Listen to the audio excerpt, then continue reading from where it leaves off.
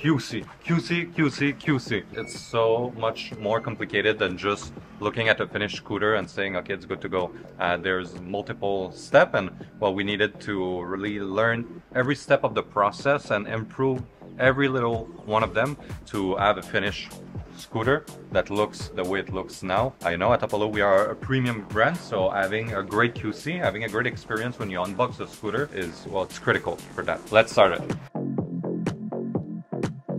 Here we are getting all the parts ready to be assembled. So you can see we are getting some stem here, individually bubble wrap like this.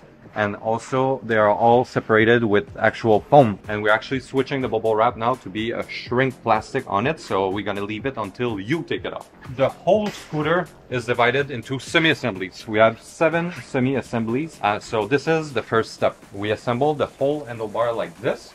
Um, and this is where the first part of QC happen. Uh, right now, all our staff is on break. Um, we use this moment because it's quiet to make the video, but usually there's someone here that's gonna check every uh, single one of them uh, to make sure that it's, um, well, perfect, that there's no scratch, and that it's ready for the next step in the assembly.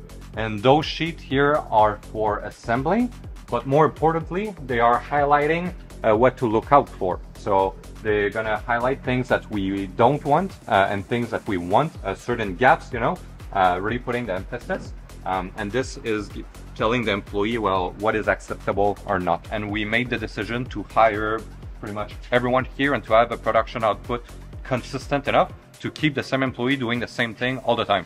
So it's the same employee that's adjusting the folding mechanism, for example, and building them on the air, on the city, on the pro, on the go, on all our models. And uh, this is how you get consistent, great result. So th this is just an example of another semi-assembly. We saw just handlebar, then they added the headset and all the electronic components. Uh, so it's being placed here, and then they're all gonna be individually tested on a scooter uh, rig, like the one that we have here. Uh, we're gonna connect the COM cable and test the turning signal, the brake sensor, accelerator, and everything electric on the headset. So that's basically uh, passing and you can imagine that doing this is going to save so much time compared to having the whole scooter assembled and then you realize that one of the light doesn't work. Well, then you're guessing, is it the light? Is it the headset? Is it the controller? Um, what's happening compared to now we can isolate the problem, reduce the amount of time that is necessary to being reward. Uh, so optimize the timeline for the, time for production and everybody is just more happy. We have one for the headset, we have one for the stem that looks like this. And at this uh, stage, they are all being um, adjusted as well. The first adjustment, they're gonna be checked at the outgoing QC as well.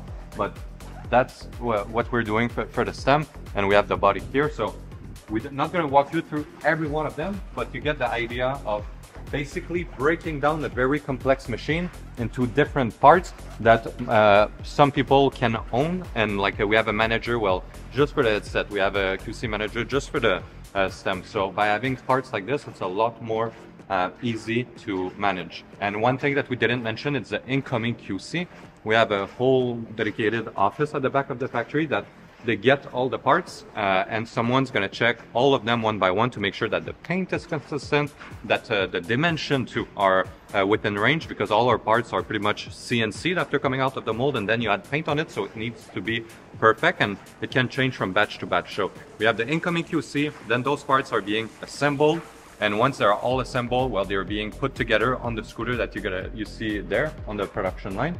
Um, and once the whole scooter is assembled and everything, then it gets to this point uh, with our own QC team uh, at Apollo. Uh, the Chow is our QC uh, manager, uh, the man on the ground in China, and uh, he's the one that brought our defect rate to record low this year. Thank you for that. Thank you. Um, so please walk us through um, what is this is Violet, by the way uh, what she's doing exactly uh, in QC check and how do we record them and how do we improve it? Um, okay, so the first step we're looking at a scooter. Uh, we check the cosmetic of the scooter, making sure the whole scooter looks perfect. There's no scratches, there's no dents or anything like that. Our whole QC procedure uh, on average takes between 8 to 10 minutes. We check every aspect of the scooter. So right now, Violet is uh, going through the cosmetics and then the basic function, checking uh, checking the, the wheels, they, they can be locked with the handle brakes, checking the, the power, uh, the singles.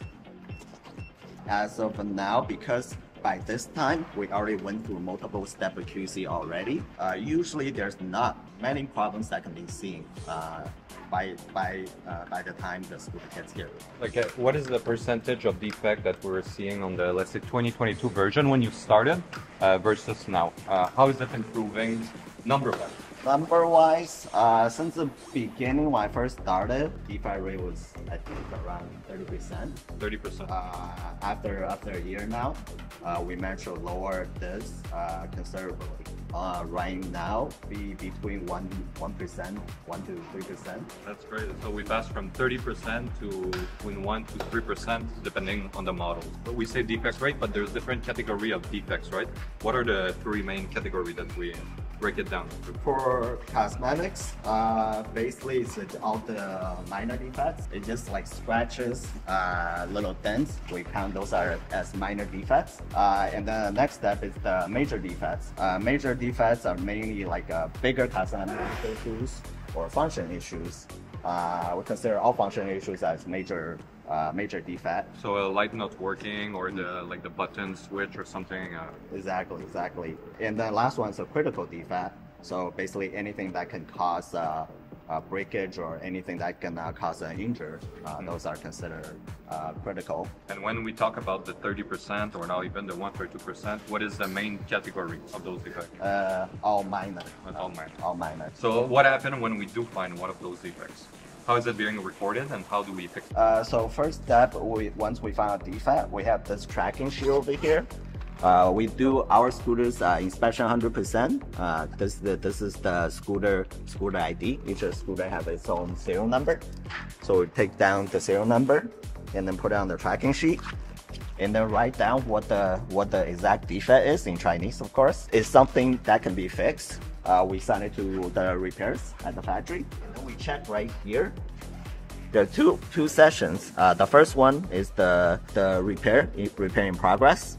So that means we, we put it in their uh, in their repair spot. It's being reworked. Yeah, it's being reworked. And then once it's uh, uh, finished rework, they're gonna bring it back, and then we're gonna go to that same uh, serial number and check that same scooter, making sure the rework is done and then it's uh, acceptable. And then we do another check here, uh, just meaning uh, the repair is done and we checked and everything's okay. This is a card, our QC card. Um, so basically we have the model number, serial number, and our inspector and the date. And then they check off all the all the uh, inspection procedures, um, all the things they already check on the scooter. Uh, once this is done, they're gonna hang this card on the on the scooters. The uh, inspectors are accountable for the scooter they inspected.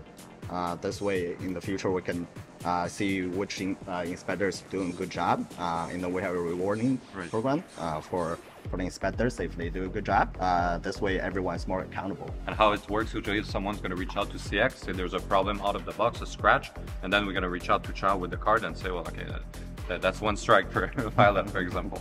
So obviously the checklist is a lot longer than just those 20 bullet points.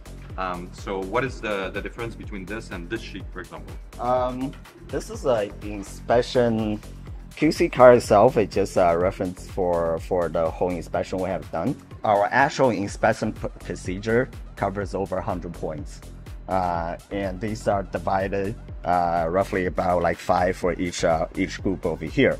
Our QC at this spot, uh, this is 100% inspection, uh, but this is not the last spot uh, because after this, uh, they will finish uh, they will finish inspect, inspecting the scooter and then put it over there waiting for a packaging area, and then they will clean the scooter and then put on the mats, and then uh, we will do another random selection inspection.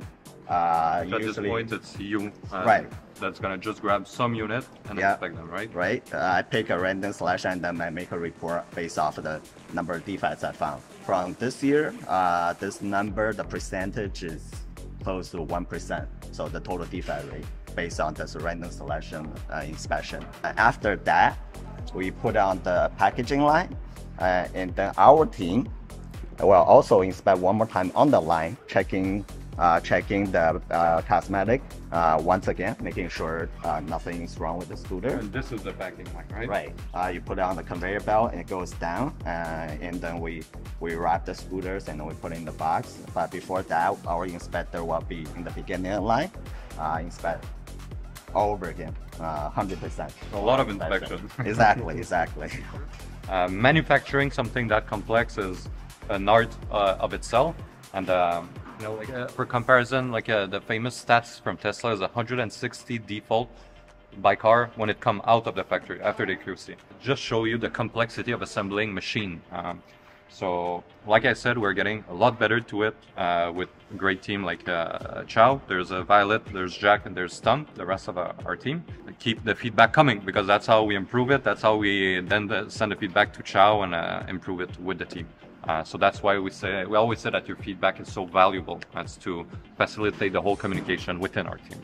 So uh, I hope this was helpful. And if you have any other requests that you want to see behind the scenes, uh, let us know down in the comment below. Thank you.